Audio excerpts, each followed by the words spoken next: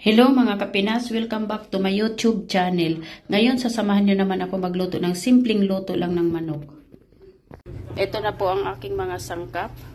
Ito po yung chicken, manok, mushroom, dapat buton mushroom, uh, nisel cream, cream of mushroom, ibap,